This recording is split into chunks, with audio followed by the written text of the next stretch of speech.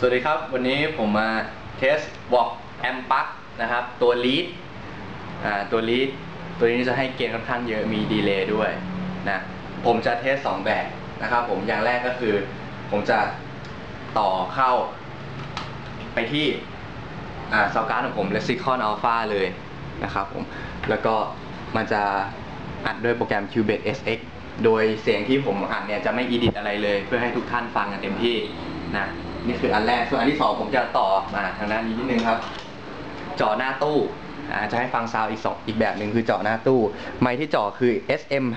58นะครับผมไม่ใช่ 57นะ58นะเข้าตู้กีตาร์ล็อกธรรมดาโดยจะต่อไอ Amplug เนี่ยก็แปลงหัวแล้วสายก็ย้ายไปที่แอมป์จะให้ลองฟังซาวสองแบบดู คือผมเล่นมาได้สักพักหนึ่งรู้สึกว่ามันโอเคนะก็เลยอยากให้ทุกท่านลองฟังดูนะครับผมกีตาร์ที่ใช้อย่าลืมบอก OLP มิวส์ R OLP ไม่ใช่มิวสิคแมนของจอห์มิดูชีนะครับผม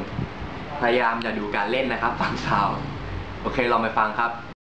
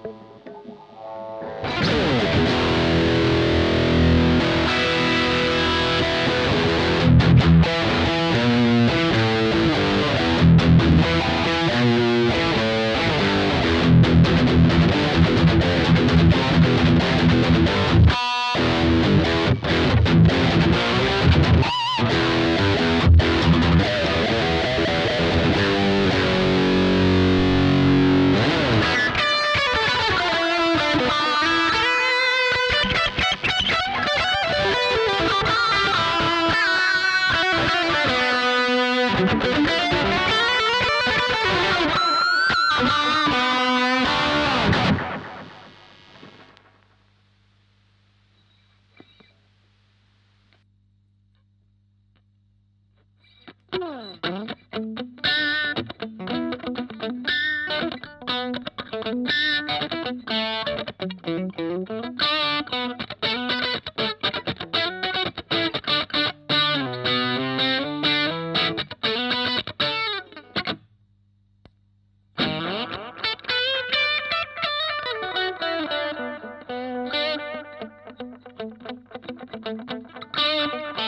Thank you.